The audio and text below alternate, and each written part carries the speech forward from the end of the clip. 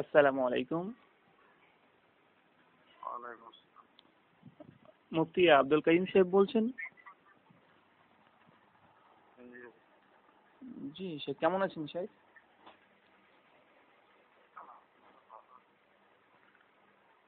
সে একটা প্রশ্ন করতাম সময় আছে একটু?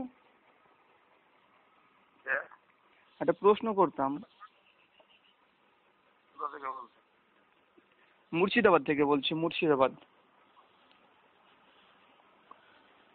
বলেন বলছিলাম যে ইমামের পেছনে সুরা ফাতিহা প্রসঙ্গে মানে ইমাম যখন নামাজ পড়বে মুক্তাদি তারা কি সুরা ফাতিহা পড়বে কি পড়বে না বিষয়? বিষয়ে পড়বে কি না? হুম।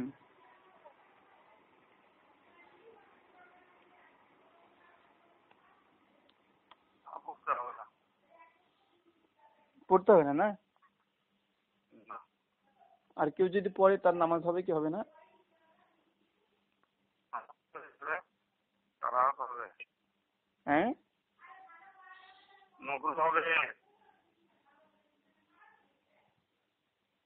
যারা পড়বে তারা মাকরু হবে না?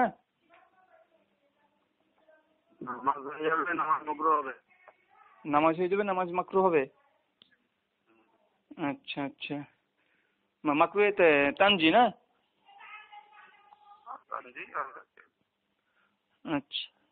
তো বলছিলাম যে আপনার এই ইমাম শাফি ইমাম আহমদ এদের এরা তো ইমাম পেছনে যারা সুরা ফাতেহা পড়ে এর অনুসারে ওদের নামাজ কি মাকরু হবে না ওদের নামাজ ঠিক হয়ে যাবে? হ্যাঁ?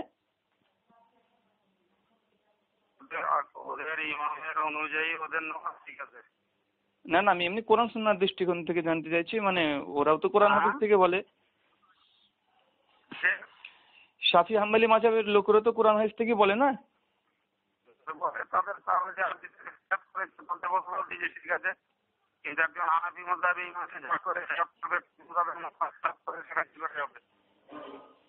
আচ্ছা আচ্ছা। তার মানে আমি সেটা জানতে চাইছি যে হানাফি মাঝাবের দলিলও তো কোরআন সুন্না শাফিদের কোরআন সুন্না তো হানাফি, হানাফিরা পড়লে মাকরু হবে, পড়লে ওদের সাফিরা পড়লে মাকরু হয়ে যাবে কেন সেটা জানতে চাইছি। সেটা তার তার একটাই কারণ তিনি ইস্তেহাত করে ওই জায়গায় পৌঁছেছেন। তো ইস্তেহাত আমি তো মানে ইমাম শাফির কথা জিজ্ঞাসা করছি না। ইমাম শাফি তো ইস্তেহাদ করে তিনি ওই জায়গায় পৌঁছেছেন। আলহামদুলিল্লাহ ভুল করলে একটা সব পাবে। তো তার অনুসারীরা তো আর ইস্তেহাদ করেনি। তার ফতোয়া যদি ভুল প্রমাণিত হয়ে যায় তাহলে তো তার অনুসারীরা মাকরু হওয়ার কথা না? তার অনুসারীরা তার ইস্তেহাত সে করেছে মেনে চলছে। তার আপনি যদি তার অনুসরণে এতে কাজ করেন তারটা মেনে চলবেন? তাহলে তার অনুসারীরা তো মাকরু হওয়ার কথা না? কেন তার অনুসারীরা তো আর ইস্তেহাদ করেনি। যে ইস্তেহাদ করেছে তার জন্য নাহলে ক্ষমা আল্লাহ করবে প্লাস একটা নেকিও দেবে? কিন্তু আপনাকে একটা কথা বলছি কোন মানসিকতা নিয়ে জিজ্ঞেস করছেন জানি না তবে ওই সমস্ত কথা বলার জায়গা নয়। যদি আপনার ভালো চলে আসবেন তখন আলোচনা করে দেবো। তাহলে জানা বলেছেন তাদেরকে বলে দিয়েছি। সন্তুষ্ট হন নাহলে কাছে চলে আসবেন। তখন বুঝিয়ে দেবো। না বিষয়টা সেটা না আমি বিষয় একটা দেখলাম যেটা যে আপনার একটা বই পড়লাম একটা বই দালাইলুল মুকাল্লিদিন প্রথম খণ্ড দ্বিতীয় খণ্ড। আমার দেখেছেন ওর থেকে গাদা বই আছে গাদা গাদা বই আরবিতে। না সে তো আরবিতে তো বই তো থাকবে একজন আলেমের কাছে বই থাকবে না তো কার কাছে থাকবে? এটা তো স্বাভাবিক। তো আমি সেটা জানতে চাইছিলাম মানে মানে ইমাম যদি মনে হয় যে এটা মান্যবর মানুষ যদি মনে করেন ও ব্যাপারে জানবার ইচ্ছা আছে টেলিফোনে এত কথা জানা সম্ভব নয়। না এত কিছু জিজ্ঞেস হচ্ছে না আমি মানে একটা মানে দলিল চাইছি যেখানে ইমাম পেছনে সুরা ফাতিহা পড়া নিষিদ্ধ আছে এই মর্মে। হ্যাঁ হ্যাঁ। ইমামের পেছনে সুরাতুল ফাতিহা পড়া নিষিদ্ধ আছে এই মর্মে একটা মানে বলুন। আপনি কি আলেম? না আমি তালেবে ইলম। তাহলে বলে সারে মানিল আসার পড়ে নাও। যে একটা দলিল না অনেক দলিল পেয়ে যাবে। সারে মানিল আসার ইমাম তাহাবির? ইমাম তাহাবি আচ্ছা আচ্ছা। কি একটা মানে এমনি রাবির হাদিস? মুসান্নিফ ইবনে আবি হাফিজ সাহেব পড়ো। মুসান্নিফ- ইবনে আবি সাহেব উর্দু পড়বে তো তানজিমুল আফসার পড়ো। আচ্ছা ইবনে আবি হুম। আচ্ছা আমি বলছিলাম যে আপনার এমনি আপনার অন্যান্য কিতাব থেকে আর কিছু নেই? মানে আমি জানতে চাইছিলাম অন্য কিতাব বলতে গেলে কুতুবে সিত্তা থেকে মিশকাত থেকে সাতখানা হয়ে গেল এদিকে। আলহামদুলিল্লাহ মিশকাত মানে তো সমস্ত কিতাবের মানে কারখানা ওখানেই।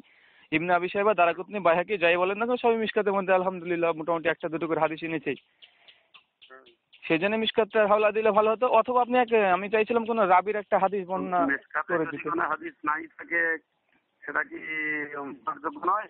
আরে আমি সেটা কখনো বলিনি। আমি বললাম মিশকাত মানে একটা হাদিসের বিশ্বকোষ বলা যায়। সমস্ত বিষয়কে তো সংকলন করা।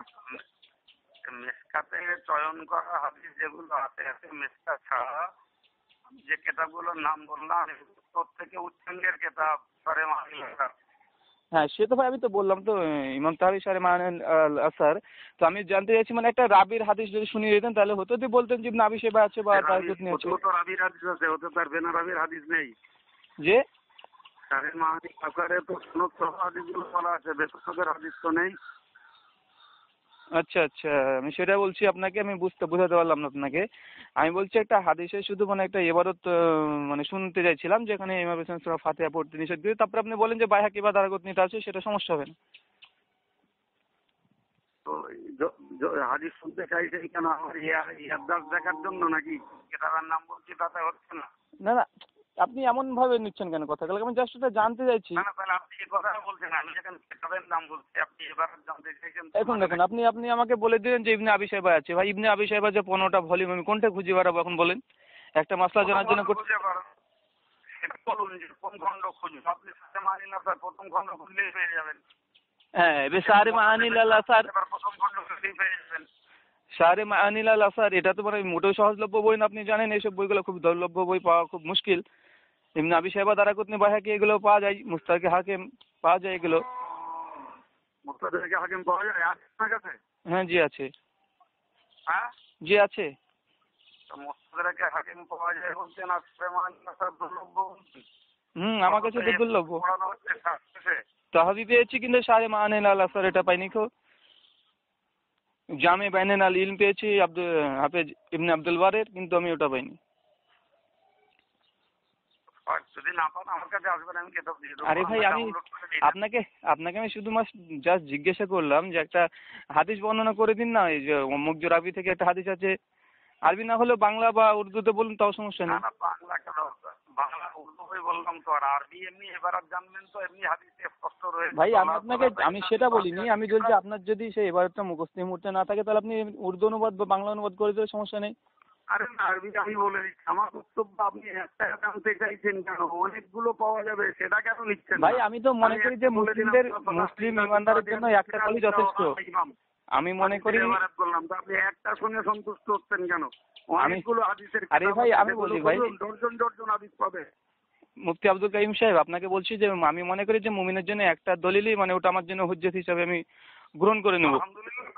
আমি তার জন্য একটা শুনতে চাইছি। হয়তো বললাম রাসূল বলেছেন। হ্যাঁ। যে ইমামের পিছন ব্যতীত যে কোনো নামাজির একাকী নামাজির ক্ষেত্রে সূরা ফাতিহা ব্যতীত নামাজ হবে না। ইমামের?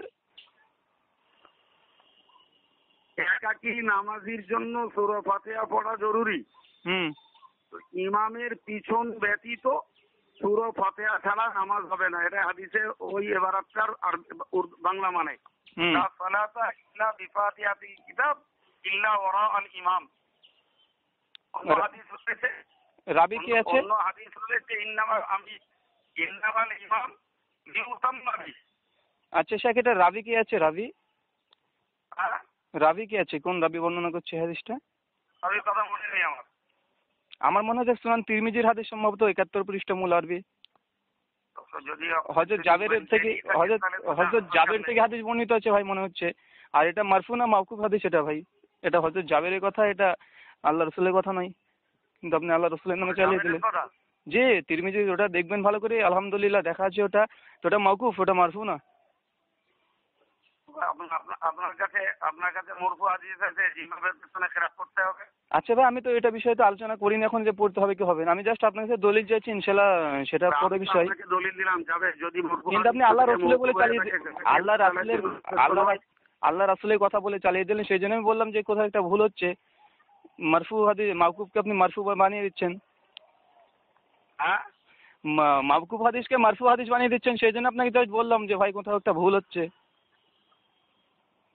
যদি যদি ওটা মৌকুফ হাদিস হয়েই থাকে হুম। যদি ওটা মৌকুফ হাদিস হয়েই থাকে আচ্ছা ভাই আমি এবার কথা বলি তাহলে এই বিষয়টা আপনি যেহেতু প্রশ্ন করলেন। হজরত জাবের থেকে না না ভাই আমি এটা শেষ করে আমি একটা আমি একটা দলিল বলে শেষ করে দিচ্ছি। আমি আপনার- মন চাইলে আপনি মেনে নেবেন না মন চাইলে মেনে নেবেন ভাই আমি মানার জন্য সদা প্রস্তুত। সাহস থাকে তাহলে চলে আসবেন। আমি মানার জন্য সদা প্রস্তুত ভাই। মানার জন্য মানার জন্য মানার জন্য সদা প্রস্তুত আমি একটা কথা বলি ভাই। হ্যালো